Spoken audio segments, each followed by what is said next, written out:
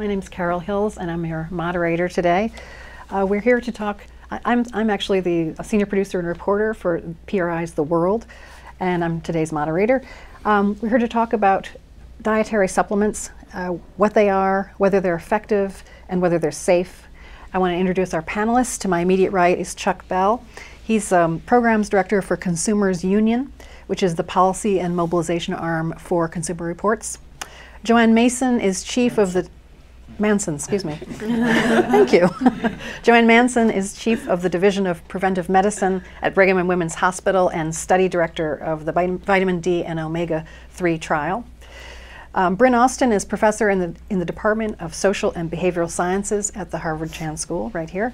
And she's director of STRIPED, uh, which is the Strategic Training Initiative for the Prevention of Eating Disorders. And finally, Pieter Cohen. He's a general internist at Cambridge Health Alliance, and he's also an assistant professor of medicine at the Harvard Medical School. And this event is presented jointly with PRI's The World and WGBH. Um, our program is also part of the Dr. Lawrence H. and Roberta Cohn Forums. Uh, very sadly, Dr. Cohn passed away last year, and everyone at the forum misses him terribly. I want to remind everybody that we're streaming live on the websites of the forum and on PRI's The World, and we're also streaming on Facebook. And we will have a brief Q&A toward the end of the program, and I encourage you to email your questions to the forum at hsph.harvard, the forum at hsph.harvard.edu. And you can also participate uh, in a chat that's happening on the forum site right now. Um, we want to start this by talking about uh, just how enormous the supplements industry is. It's multi-billion dollars, and we want to get a, a, sense of that by looking at a clip from a Frontline episode called Supplements and Safety. If you could play the clip. It's estimated there are 85,000 dietary supplements for sale in the United States today. Right here I have our liposomal D. Uh, so this D is our bacopa. This is an herb that would be great for older individuals that are the essential nutrients like chromium. With so many pictures and promises, you might assume that some government agency has approved them before allowing them onto the market. The FDA does not do any review of dietary supplements before they come onto the market. And I think that all consumers need to understand this. No testing, no obligation to provide any evidence a product is effective or even safe. The one thing manufacturers do have to show is that they follow good manufacturing practices. The FDA conducts inspections for that, but it's limited by resources and by information. I'm going to turn to Chuck Bell uh, to start our discussion and with a simple question, um, if you could briefly explain what is a dietary supplement? Sure. Um, so, as the name implies, a dietary supplement is a is a product that's intended to supplement the diet, and these are products that are taken by mouth, uh, such as pills, powders, drinks, energy bars, and they contain dietary ingredients uh, such as vitamins, minerals, amino acids, which are building blocks for proteins, and herbs and botanicals, as well as other substances that are dietary ingredients. Uh, now, as mentioned in the clip, unlike prescription drugs, dietary supplements are not subject to pre-market safety testing or safety review by the FDA, and yet they appear in pharmacies and supermarkets in the same stream of commerce as over-the-counter drugs that do have a safety review process. So consumers are understandably confused, and we did a poll at Consumer Reports in 2015 that found a majority of people do think that they are vetted for safety by the FDA. So very important for consumers to understand that. Uh, dietary supplements are governed by a separate section of the federal law called the Dietary Supplement Health and Education Act, or DSHEA, uh, which was passed in 1994 after a blitz of industry lobbying. And we've grown, as the clip implies, from a, a smaller marketplace in 2004, where, uh, in 1994, where there was around 4,000 products, uh, to as many as 90,000 products a day, with over 1,000 new supplement products coming on the marketplace every year. And so, a uh, concern that we have at Consumer Reports is that these products are presumed to be similar for foods, and so they're presumed to be safe, but they often contain ingredients which are highly uh, concentrated, which are sort of unconventionally strong from a dietary perspective. Uh, and they also have products that are poorly understood by science. There's many things we don't know about herbs and botanicals uh, that may be toxic or have a variety of unexpected effects.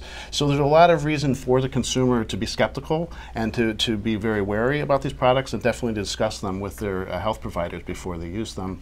And just one other aspect too is that while dietary supplements are not allowed to make uh, claims about being miracle cures to cure a, a, disease or a condition or to prevent dementia, they are allowed to make what are called structure function claims, uh, such as it helps build strong bones, helps improve cognitive function, helps improve prostate function. And so consumers can be understandably uh, forgiven for being a little confused about the types of claims that are made, and oftentimes there's very little evidence behind the claims that are being made. JoAnn Manson, you've studied the effectiveness of vitamins and minerals. Uh, do we know if they even work? Well, this is a really key problem that even for some of the vitamins and minerals, which would be the most favorably received, the, the um, supplements that have the best reputations out there, there's very little evidence of either safety or efficacy, especially long term safety and efficacy. And the randomized trials that have been done have even identified risks. Um, some risks have been identified with the high dose uh, beta carotene supplements, uh, increased risk of lung cancer um, in smokers, um, with high dose vitamin E, uh, an increased risk of heart failure, um, all cause mortality, prostate cancer. There have been quite a few risks um, associated with very high doses of these supplements. Overall, there are about 50% um, of the population, according to national surveys, taking at least one of these dietary supplements, and fully one third take multivitamins. It may, it may, be surprising to many of you that uh, the multivitamins themselves have not been well tested in randomized trials. Only really one large scale randomized trial uh, done in men, uh, the US Physicians Health Study. We're now doing a trial called Cosmos, which is testing multivitamins in uh, women as well as trying to replicate the findings in men that there was a slight reduction, about an 8% reduction in the risk of cancer with multivitamins.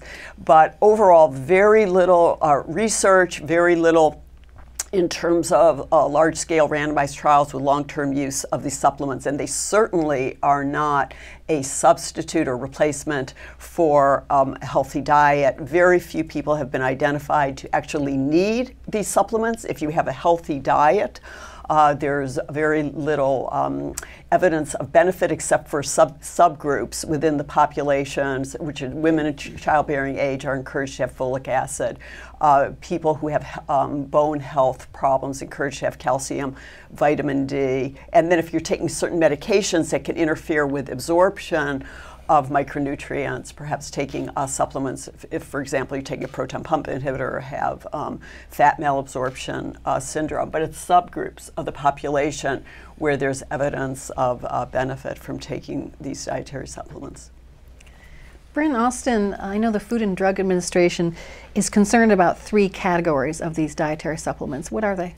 Yeah, at least three. The, certainly the top ones are the weight loss supplements, the muscle building or sports performance supplements, and then the sexual function ones, which are more often targeting men, but certainly people of all genders are using these products.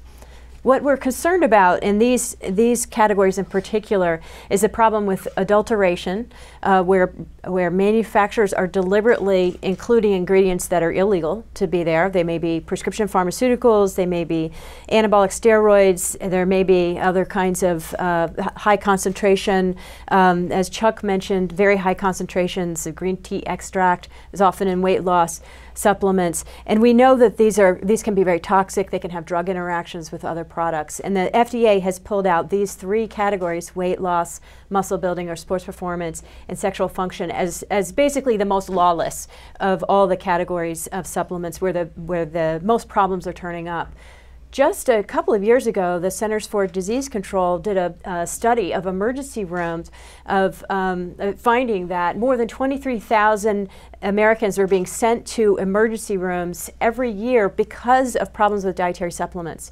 And of that 23,000, fully 25% were attributed to weight loss dietary supplements, the ones uh, marketed sold for that in particular. Now, the weight loss supplements don't make up 25% of the entire industry, but they are making up a very large minority of the cases where people are being sent to the emergency room. And then thousands, in addition to just showing up at the emergency room, thousands of those are turning into people needing to be hospitalized because of injury.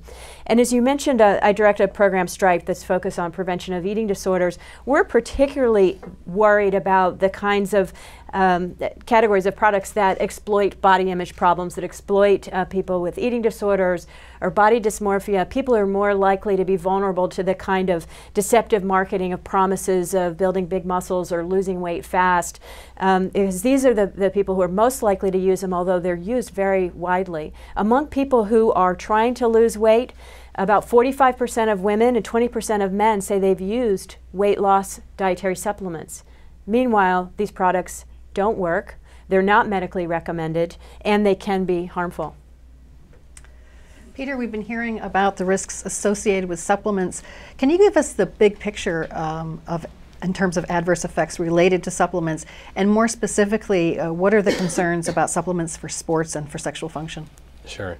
So what's interesting is that, um, as um, Chuck has described, supplements are sold under the broad category of food. And they're actually, if you compare the safety of ingredients that can be added to food compared to ingredients that can be added to supplements, it's, it's very interesting because the bar is even lower to introduce something to a supplement. So let's say you want to spray some preservative into a can of um, tomato soup that you're selling. That preservative that you're putting into the tomato soup has to meet a certain standard called GRAS that generally generally recognized as safe and that's uh, basically a group of scientific experts have to agree that that product is safe at that dose. Um, that does not, GRAS is not the standard for new ingredients to be introduced to supplements. It's a lower standard that does not require anything at that level of scrutiny that scienti scientists need to sit down together and decide this is safe for human consumption. So what we have are products that are being sold to improve your health, to maintain health or, or, or improve it and there's the bar is exceedingly low, even to introduce brand new ingredients into these supplements. Um, so it's not surprising that although from the from the regulatory perspective, they're all presumed to be safe, and the FDA's job is to track down the dangerous supplements. But the reality is that many people, like Bryn was describing, are harmed from supplements, and um, that estimate that the CDC had of about 23,000 people every year ending up in emergency rooms is probably um, a large underestimation of the dangers of supplements. And, and the reason is that in that study, it was based on sentinel emergency rooms, 63 emergency rooms throughout the United States that the CDC was tracking. And they had no special training of the providers in the emergency room to detect or to even ask about supplements or to detect supplement harm. So what they did is they just reviewed the records, the charts of patients who came to the hospital, and they found that an estimated national estimate of 23,000 people ended up in the emergency room due to adverse effects of supplements that just happened to be noted by the physicians with no particular training. So that's a very low estimate of probably how much harm is going on. So uh, what's interesting here is this parallel between what the, um, what the law uh, requires about safety and expects about safety and the reality. And we have a real uh, disconnect between those, those two. And again, uh, we, what uh, my team of the analytical chemists that I work with and I, we study particularly is that in these products that Bryn's mentioned, those categories like weight loss and sports supplements, what we're finding is that many of the products contain novel pharmaceutical-like substances. So it might contain not amphetamine, because amphetamine obviously is a controlled substance, not legally sold, but it might contain amphetamine when the methyl group or a few carbons are moved slightly on the molecule to something that would appear at first to fly under the regu regulatory radar screen, even though we, in many cases, have early data, sometimes even human data, that that version of amphetamine or that version of methamphetamine, which we've also found in supplements, uh, has pharmacological effects. So th those are some of the issues that we're particularly interested in. We've laid out the issues here, or some of the issues with supplements. We're going to turn to a more kind of interactive discussion, trying to look at ways to uh, minimize, um, to, uh, to, decrease the, the harm done or decrease the concerns about them. And we're going to take a look at another clip from the Frontline episode, Supplements and Safety. And it's interesting because uh, this clip is about what the Children's Hospital Philadelphia has been doing to uh, try to protect patients who enter the hospital with supplements that they're going to take during their stay, and the hospital is concerned about the safety of the supplements, and the hospital is responsible for their care. So this is the dilemma that the Children's Hospital of Philadelphia is wrestling with. In 2013, the Children's Hospital of Philadelphia had had enough.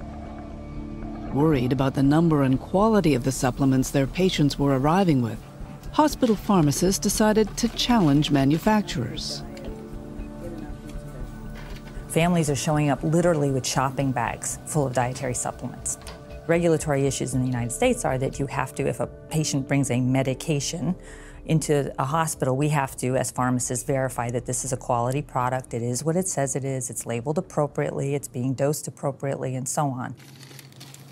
We got fed up we took a step back and we said, okay, we're going to ask these companies to at least meet a labeling standard. They have to send us something called a certificate of analysis, which means they've had their product analyzed by an independent party that says that what's on the labels, what's in the bottle. 90% of the companies never responded. And of the 10% that responded, of the, that 10%, often they would send us certificates of analysis where what was on the label wasn't even close to what was in the bottle. And these were the ones who responded to us, which made us fearful of an industry that we couldn't trust. For example, this is a aqueous vitamin D drop. So we use vitamin D in um, premature infants. It says it should have 400 international units per 1 ml of solution. However, it tells us that the results are that it's 213% of the labeled value. So it's more than double what it says that it is. So if we're dosing premature infants who need very tiny doses of this drug, we're now potentially giving them double what they should get and could really put them at risk for toxicity. I want to turn to uh, JoAnn Manson first. Um, what role does the medical profession have where supplements are concerned? Well, I think there should be a much larger role than currently. Many clinicians and medical students receive very little training in this area.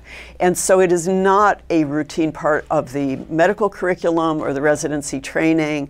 And many clinicians are not asking patients about what supplements they're taking, and they're not giving their patients any advice about, for example, avoiding certain supplements that may interact with medications, or once they understand what supplements they're taking, recommending that they uh, do something differently if they're going, going to be having surgery in the near future, etc cetera. So I think it needs to, more attention is necessary to uh, clinician medical school training in this area and um, also more education, encouragement of the public to talk with clinicians, talk with their doctors and their um, healthcare providers about the supplements that they're taking, asking them if they could be interacting with medications that they're on, and also being familiar with some of the very reliable websites um, and sources of information about these supplements. You know, the Office of Dietary Supplements is, is a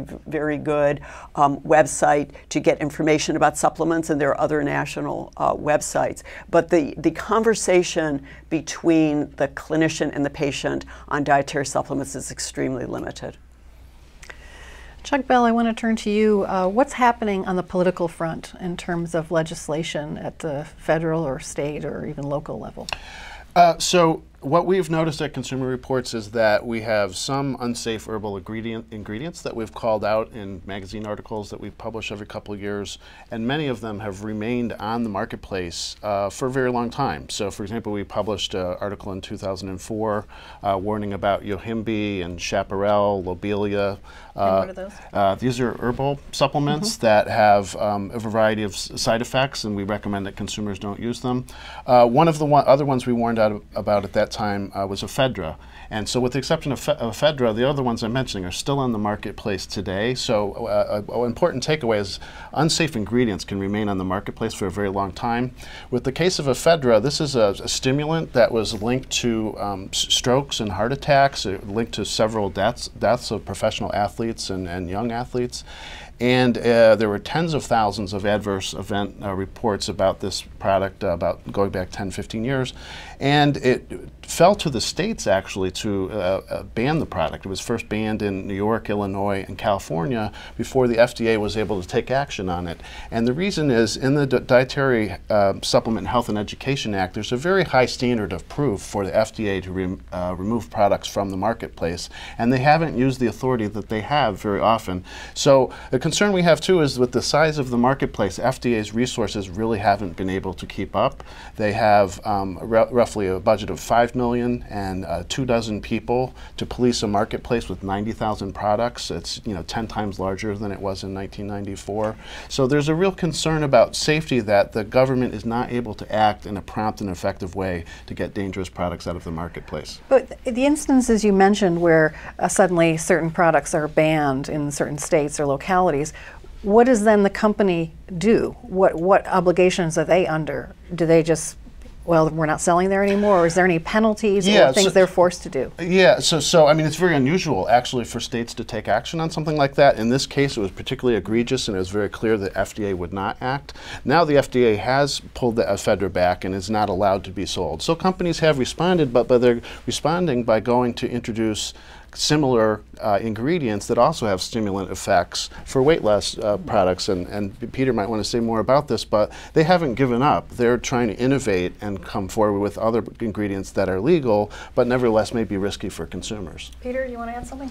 Um, right. Uh, after the after ephedra was banned, that's when we really saw this explosion of creative stimulants that are really synthetically, pharmaceutically created tweaks um, and those stimulants have found their way into the weight loss products, but also into many sports uh, sports supplements. So my advice to consumers about the sports supplements is avoid, or actually this is across the board really, um, to avoid supplements that contain something called a proprietary blend. So a proprietary blend allows the, the um, company to put in ingredients without uh, telling us about the amount. And in those um, uh, products, and you can take a look at the back to see if there's a proprietary blend, those tend to be the higher risk uh, products. So um, uh, yeah, th that would be one, one tip I would share with uh, consumers. Bryn, I want to mention, I want to go to you. Uh, we're talking legislation, and I know you're, you're involved at the state level. Uh, what's going on at, at, the state level? I know your, your focus is on youth, particularly around uh, weight loss drugs and um, and where that intersects with eating disorders. Uh, what's happening? Sure, there? yeah, and as Chuck said, it, it was really incumbent on states to take action first around ephedra. It certainly wasn't sudden. It was a it was a lot of work by many people to get states to move many years ago, and then finally motivated the FDA to move on ephedra in the same, we're in the same situation now. Our group uh, uh, did a legal study a few years ago, led by Jennifer Pomeranz, a colleague of mine, a health law specialist at New York University, where we laid out basically the roadmap for what states and cities can do to act on this to protect consumers, to protect their residents, and especially from our perspective to uh, protect children and adolescents. And there's actually a lot that states and cities can do. We don't need to wait for the FDA. We don't need for Congress. We don't need to wait for Congress. We certainly want them to step in, but it probably isn't happening soon. But today, tomorrow, state legislatures can introduce uh, bills to regulate these products, and that's where we have an example in Massachusetts. Uh, my program Striped is working with a, a community partner, the Multi-Service Eating Disorders Association, led by Beth Mayer and Representative Kay Kahn in the Massachusetts State House. And Representative Kahn introduced a bill in this legislative session to ban the sale of dietary supplements sold for weight loss or muscle building to minors, so anyone under 18, and to move those products behind the counter so that they are not, uh, any consumer coming through the store is not inundated with a visual field filled with marketing about how they should use these products. We don't want that kind of marketing happening out there. It's misleading consumers, it's exploiting people with weight concerns, and exploiting youth. Uh, so the, the bill, if it were passed into law, would move the products behind the counter and also have the Department of Public Health have warning signs. Cities can do the same thing. Cities actually have the power to act now also. City councils can do that, health departments can do this. Um, one by one, we can start, just like was done with ephedra and actually has been done with tobacco, cities and states can one by one start to get this taken care of of protecting consumers and youth. Um, and then eventually we would expect the federal government will follow as it typically does with uh, public health causes like this. JoAnn, I want to turn to you um, about labeling. Um, how, how effective is labeling uh, and does it work? Or where are we with that in terms of warning consumers? Well, there are very few labels on these supplements, and most of them will say something that the claim, the statement has not been evaluated by the FDA. But I think that we need to educate consumers to actually read those labels and to understand what that means. And even in the case of the vitamins and minerals, you know, mega doses of vitamins and minerals, uh, it will there will be some promotes heart health or whatever. But the statement has not been evaluated by the FDA. I don't think in general that's looked at very closely by consumers or that's really understood that it means there aren't studies, there aren't research studies, large scale randomized trials to evaluate efficacy or safety. So it's truly buyer beware um, in terms of taking really any of, of these supplements. There, um, many of them are just the uh, recommended dietary allowance dose, and we would not expect them to have a substantial risk. But when you're taking mega doses for long periods of time, even vitamins and minerals can be uh, found to have risk. I, I think we need, in addition to the regulation, better education and information for consumers about how to read the labels and what the labels actually mean and how there's really very little, if any, in many cases, evidence for efficacy or safety. And also, again, coming back to clinicians, because I think this is so important, that this should be routinely assessed. Um, we should be knowing, clinicians should know uh, which supplements patients are taking uh, so that they can understand whether there might be interactions with medications that the patient is prescribed or problems in terms of the patient's medical conditions that maybe they should not be taking those supplements. So I, I think that this really has to get out more to uh, both consumers and clinicians. Yeah, one issue to be aware of is that um, many supplements are taken uh, by older Americans who are also heavy users in many cases of prescription drugs. And so sometimes supplements may interact with uh, prescription drugs in unexpected ways, either increasing the potency of the drug or lowering it. Um, and in other cases, there are supplements like ginkgo that interfere with uh, blood clotting. So if you're going in for surgery, you should discuss the use of a supplement like that yeah. with your surgeon. And so we think it would be helpful to have better labeling to warn consumers about the potentials for herb drug interactions. Uh, and by and large, this is something people are not very aware of. And in looking at the supplements we have today, we have them, examined them and found labeling to be quite inconsistent across different products. So for example, there's a supplement 5-HTP that may interact with antidepressants, and yet you don't necessarily see that warning on every product that has 5-HTP in it. I think what's interesting to me is that um, before I, you know, learned about this by preparing for this panel, I would never have known that there are these issues out there. And so, and I'm a fairly informed person. And so, and, and you see this stuff everywhere, tons of stores and every type of store. So, why is there such a disconnect between what people encounter out there and and, and believe? You know, I thought taking you know multivitamins and and you know vitamin D and all these things that they're good, that they're they're helpful. Why such a huge disconnect between what you're concerned with and what I think the popular conception is about these. Uh, do you want to start, Chuck? Yeah, I, I, think one thing is that there's is a cultural predisposition to want to do things to improve your own health. And you know, a lot of aspects of healthcare, our healthcare system are very expensive, and supplements are relatively affordable.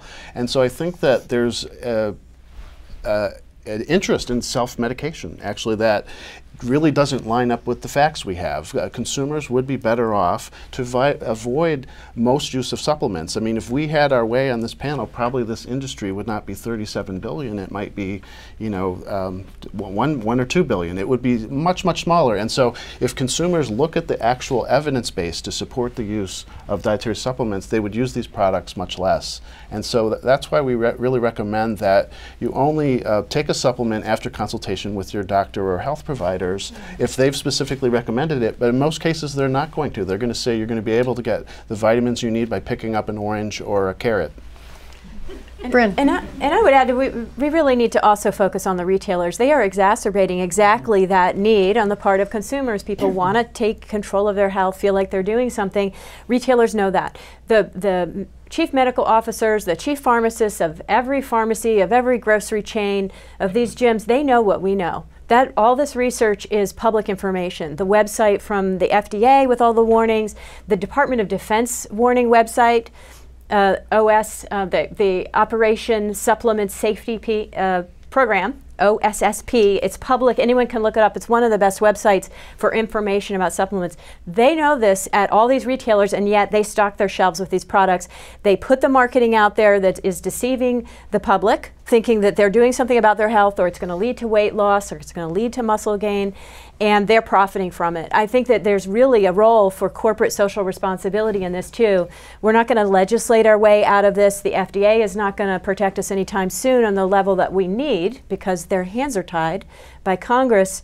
Uh, what we need is for corporations to step up and take responsibility for the products on their shelves. If we know that these products are unsafe, they know that, they shouldn't be having them on their shelves. What moves corporations is uh, if we can achieve a change in the economic pressures on them and the ethical pressures on them. And that's what consumer advocacy is very good for, what clinicians speaking up is, is so important for. If we change the balance of the economic environment and the ethical environment that these corporations are working in, they're going to make some different choices about which products they have on their shelves and what they're willing to sell to their consumers and sell to children.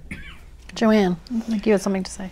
Yes, I, I, still think that having programs like the, the Frontline um, program, I heard from so many patients and you know clinicians after that program aired, uh, saying things like, "I had no idea. Why wasn't I hearing about all these problems with supplements?" So I think that um, the media has a potentially very great role to play in increasing awareness of these problems, and I think people will listen, and I think it will be very educational to um, consumers, to the public, and to clinicians who probably will get most of their information about this topic uh, from the media. But um, again, I, I, think that clinicians really can, uh, and it doesn't have to be just the very, very busy um, physician in clinical practice. It can be the healthcare team who is involved with this. So, for example, when the patient is first coming in and getting, you know, their blood pressure checked and all that, there could be information obtained about what supplements. What are you taking over the counter?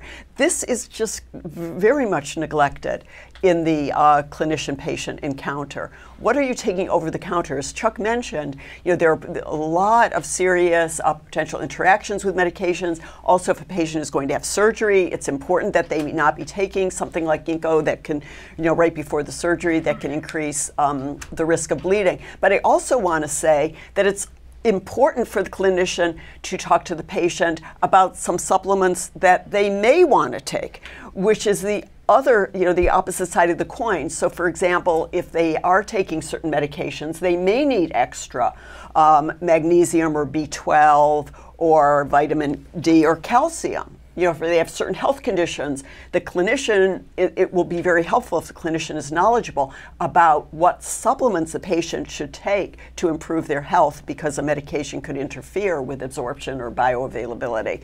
So it's really both sides of the coin. Pieter?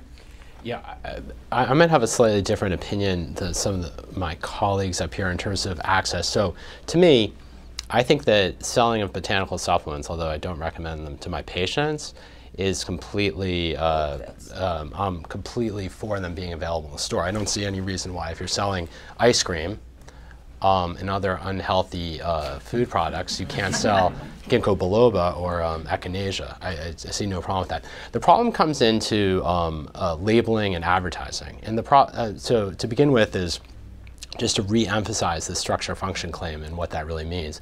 The structure function claim means that you can impress or, or imply to the consumer that this will improve your health. That's where you have a big problem. And it's also a big problem because it's one thing to put up a, a, sign in front of the broccoli and say, you know, this is great for heart health. And what's different about it is that when we go to buy food, we're using not only thousands of years of evolution, but all our senses to know if the food's spoiled.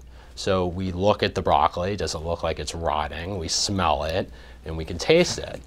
With supplements, these are pills that are being swallowed that we can't use any of our senses for. So the only information we have, or consumers have, is that marketing, what's on the on the label. So to me, there's two fundamental issues. One is this eliminating or greatly curtailing the structure function claims that are being made.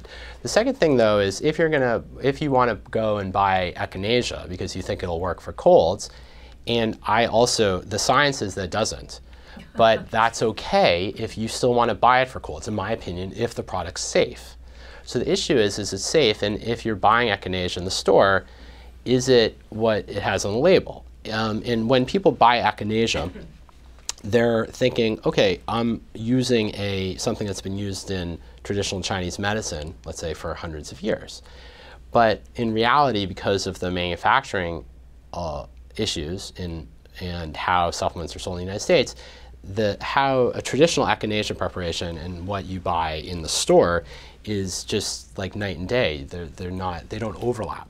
So to me, I think that if we were to have a, a thoughtful regulatory framework that when you bought echinacea, it actually contained a particular preparation of echinacea, and it wasn't, misli- wasn't uh, misrepresented as, as doing magical things that it doesn't. Uh, because even after there's good randomized controlled trials saying echinacea doesn't help with colds. Today, it's completely legal to sell your echinacea as if it's a immune booster. So this is where the, uh, for me, this is where the, the problem is.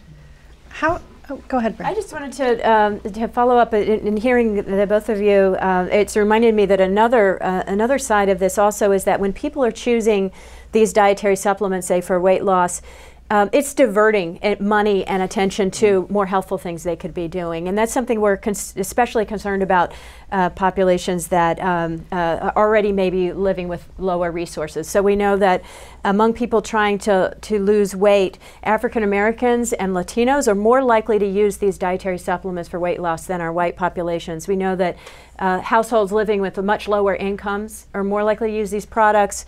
Um, and uh, households where there's less education are more likely to use these products. It's probably because uh, at a one-off purchase of the store each week, it's more affordable than paying for a whole program, or maybe it's not feasible to make some of the other changes. But for all the public health recommendations about healthy nutrition and physical activity, if people are being shuttled through this intense marketing that Pieter mentions toward these other options that one don't work, two could be dangerous, and three are wasting their money, then that's a really serious public health problem that we need to be grappling with how to protect people. And as I keep coming back to, especially our young people, especially the children, young people are going to be even less able to, to see the difference with the marketing pitches. They really, marketing is very powerful, can affect anyone of anyone's any age, but a 12 year old coming in and seeing that kind of marketing, we're really worried about that, or, or folks with less education being particularly exploited by these industries and the weight loss one in particular. Uh, one other aspect I'd like to bring out is that there are issues with quality assurance in the manufacturing of supplements. Um, there are good manufacturing practices that supplement makers are supposed to follow, but we have today a global supply chain where many ingredients are imported, and some issues have popped up with supplements. Uh, including contaminants like heavy metals such as lead and cadmium. And there have been studies that showed that uh, middle aged women who took supplements had 10% uh, higher level of lead in their blood. And so the levels aren't necessarily off the charts in terms of a safety issue from that particular product, but no issue of uh, no additional increment of lead or cadmium is particularly helpful from a health uh, standpoint. And yet, you know, we're seeking out these products because we think they will improve health, and it's not hel helpful to have contaminants in there. And the FDA's access to overseas manufacturing plants is is limited in many cases. Uh, and their budget to go and inspect those uh, facilities is also very limited, so they only get to a very, a very small fraction of the manufacturing plants for supplements. So this is something consumers may not be aware of, but uh, you know, in the clip about the hospital, you know, obviously if you're serving or including supplements in a hospital, you want to make sure that they're not making people sick, and yet it's not very easy to run all that down and to make sure that that's the case. We're going to go to Q&A with one quick comment, and we'll go to Q&A. Yeah, I, I just want to ask the other panelists a question because I get asked very often about whether it really helps to see on the label um, that it's you know the good manufacturing practices seal or the U.S. Pharmacopoeia um, verification seal. Is that something that we should be recommending that people look for? What do you think about that um, information on the label? I, I, I, think we've said that it's generally better than not having it, but mm-hmm. it's not necessarily a, sup, uh, a, supplement for having the effective oversight of the federal government. Right. Because a private label certification program, they don't necessarily have the authority to go in and inspect facilities. And um, so, so, but they, they, those, uh, I think there, there's some there's some utility to it. Yes. But but one of the challenges there though is that if you grab a supplement bottle, it'll have stamps all over it. So, you know, a, a, a, consumer, your average consumer will have absolutely no idea which of these stamps are legitimate. Everyone has like a third party like stamp on their bottle. So we do have to let consumers know about that some of those stamps are more powerful like USP, NSF International. I do do research with NSF, but um, some of these are much higher quality, you know, um, processes than others but that you cannot, uh, average consumer cannot tell a difference when and, it's. And I think average consumers don't know to even look at labels right. and to look for. Maybe educate the public more about looking for certain labels. And We're going to go to Q and A now. Some of these topics may come up in the questions. Uh, Lisa Mirowitz is going to give us her first question. Yes, thanks, Carol. And you're covering material that's in a lot of these questions, which is great. We have a lot of questions. Um, this is from a viewer in Pakistan. Uh, asking about the role of flaxseed in lowering blood blood pressure, stabilizing blood sugar levels, and enhancing male sex drive, and the role of chia seed in improving female complexion, building stamina, and strong bones and muscles. JoAnn, is that a question for you? Well, like a lot of questions. Very little research um, on any of those, you know, questions. Um, in terms of, of flaxseed, there's a lot of interest in alpha linolenic acid and the plant-based omega-3s. A lot of research, as you know, on the fish-based marine omega-3s, but many people are vegetarians or would prefer to use the plant-based ALA. And it's surprising, because I've actually reviewed that literature pretty extensively, and uh, there are no really large scale randomized trials looking at clinical endpoints in, in detail. Um, so I think the research is limited, but some of the trials, the smaller trials, have shown some benefits in terms of the cardiovascular risk factors, but has not been totally consistent and the chia. Does anyone else want to comment? no, but, but, but, what JoAnn said is true for so many things. That there's yeah. a there's a small study that suggests either an epidemiological association or um, a small study involving 20 patients who received something and then purportedly some little factor changed in them. And then that is what's completely legitimate because of the laws to be promoted as if that has that ability in humans. That, that, that's where we're at. And then more often than not, or maybe 99% of the time, when the large randomized controlled trials are performed, it turns out not to uh, have the effect that was seen in the small trials. And there's also very often no distinction made between the small observational study where the, the, literature can be selectively reviewed, as Pieter mentioned, and those large scale randomized trials, which may give very different results. Great, thank you. Um, here's another one. Would you please ask the panelists what their knowledge is of national registries or a national database that tracks hospitalizations that might be related to supplementation? Sounds like there have been several studies done, but no aggregated national data. Um, right. So there is th- that's a great, um, very important point we haven't really focused on. So it's true that we've talked about how these products are being sold as if they're all safe. But then we also know from the CDC research that there's tens of thousands of emergency department visits, thousands of hospitalizations due to these products. So the next question is how does the FDA identify which of those products are the most dangerous and remove those from store shelves?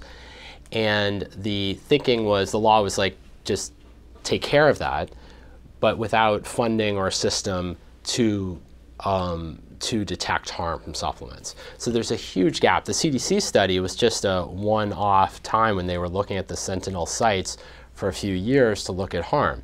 There's no ongoing effective system that detects harm from supplements. So what generally, what sometimes happens is that oftentimes there, there's so many gaps, but one big gap is that providers often don't ask patients, or patients don't share with them that they've used the supplement. So even if they have liver failure, they might be um, shy about sharing the fact that they were taking a weight loss supplement for the last month because they kind of knew that was slightly, you know, may maybe someone else had told them not to do it.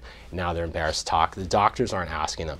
But even when doctors ask and say, oh, I think that this person is um, in has hepatitis due to the supplement they were taking, many doctors don't know where to report that.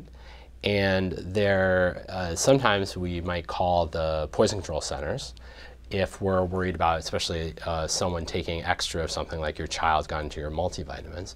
But what's interesting is while the poison control centers are getting thousands of calls about supplements every year, they don't. There's no commu zero communication with the FDA. So those cases are not shared with the FDA. The FDA works on just uh, providers or consumers filling out these paper this paperwork for MedWatch saying I took the supplement and I got sick.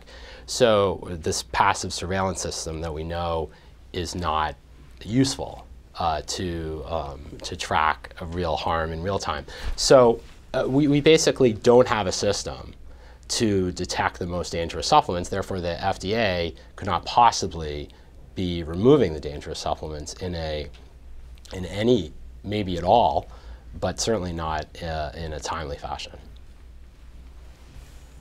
Well, I was just going to comment that in uh, 2007, federal law was actually amended one of the few times on dietary supplements, and it was to require that manufacturers who receive adverse event reports where a consumer had to be seen uh, by a, a, physician or in a hospital, uh, that if a supplement manufacturer receives that type of report, they have to forward it to the FDA MedWatch system. So we strengthen adverse event reporting, and over a recent uh, three-year period, there are about 6,300 adverse events uh, reports, including a serious uh, incidents and injuries and uh, 94 deaths linked to use of supplements. But it's widely believed that the, these incidents are underreported because people don't know who to call.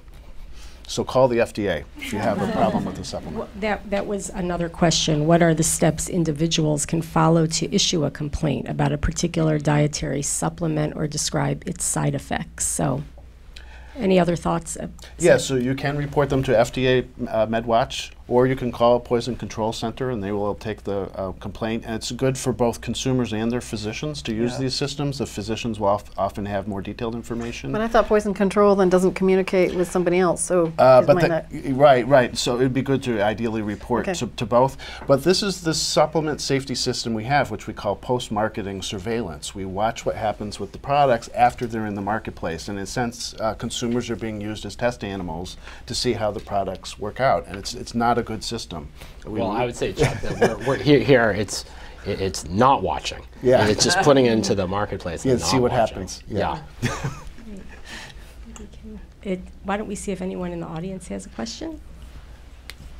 Thanks so much for this great panel. For the new parents out there whose pediatricians would, for example, recommend iron supplements for their children, are children are supplements for children special in the sense that is there is there better quality control to make sure that the stated ingredients and concentrations are actually what's on the label, or is is are every is everything you're talking about also applicable to uh, supplements marketed specifically for children?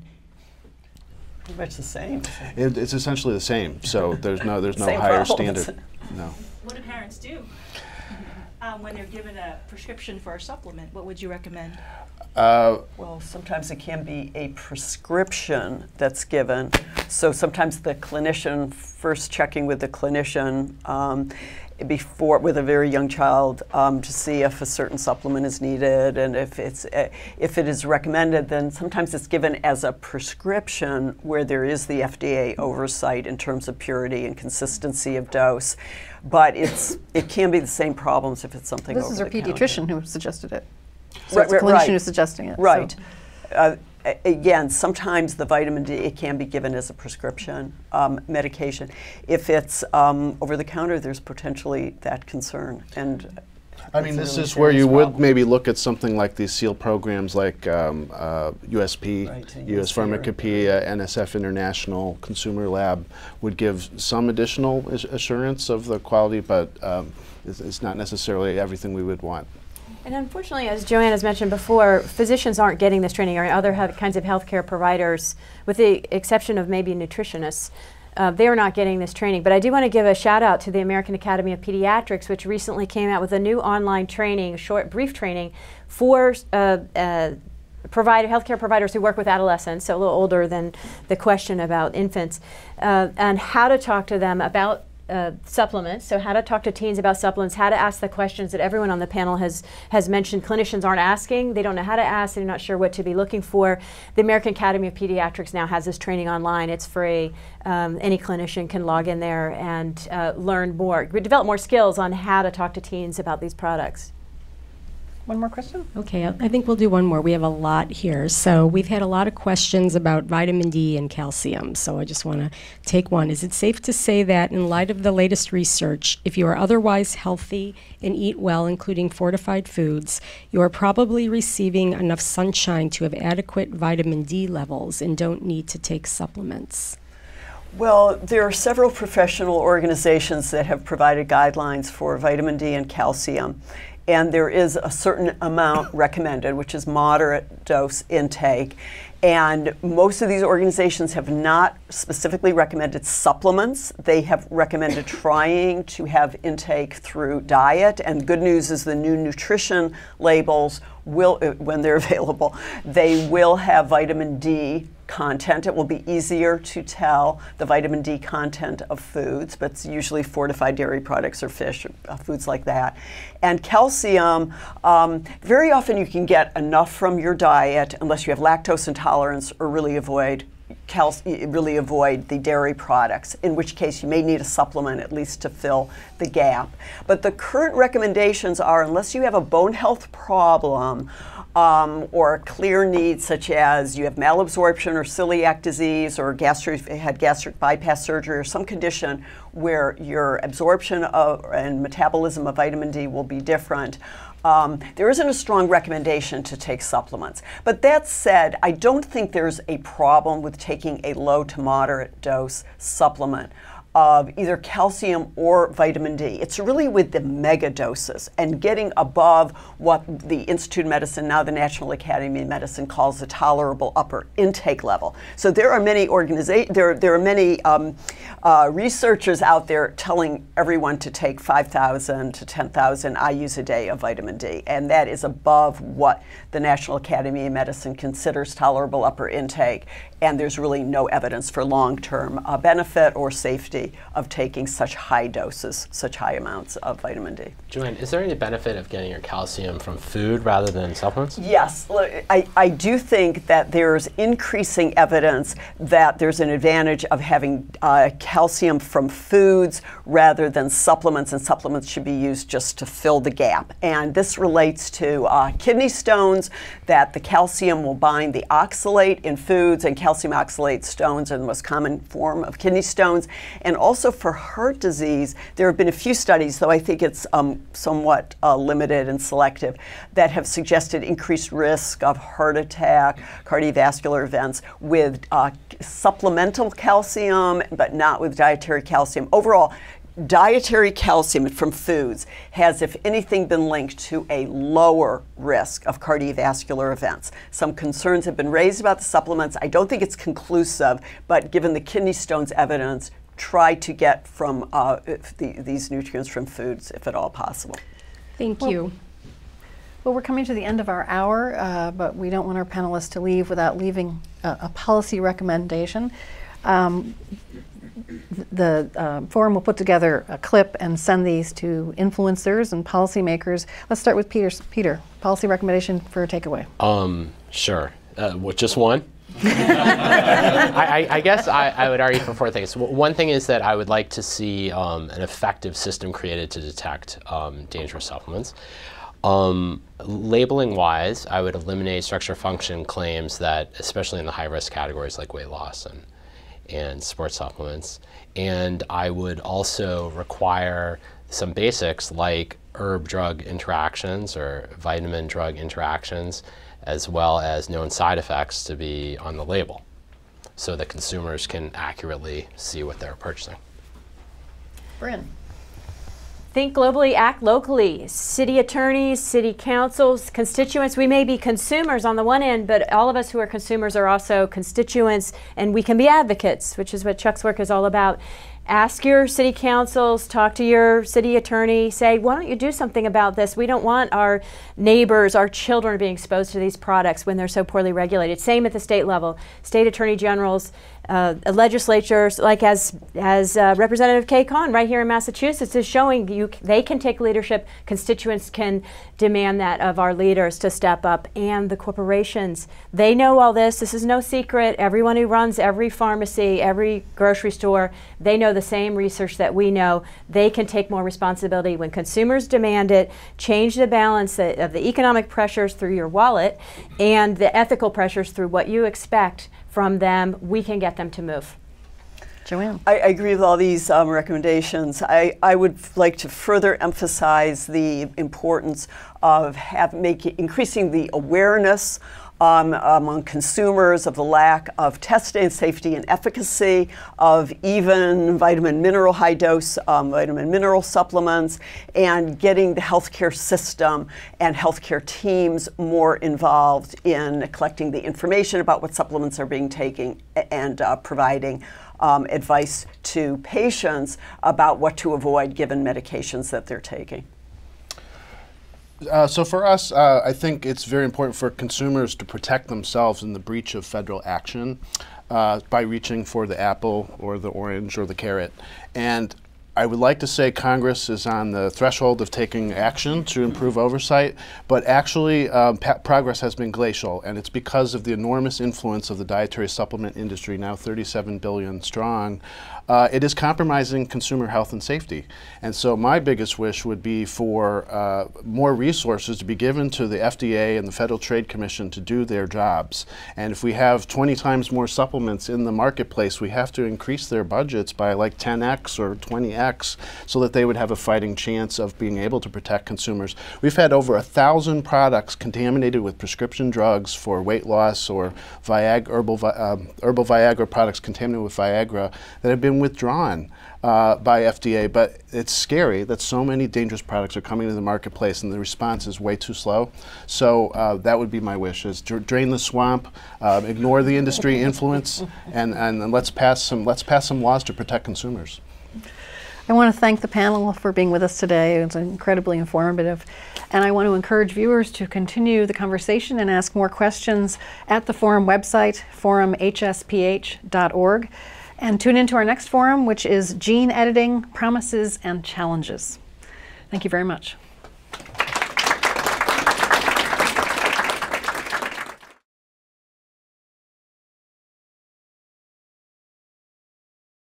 If you are interested in supporting this program and others like this from the Leadership Studio at the Harvard T.H. Chan School of Public Health, please call 617 432 1318 for further information.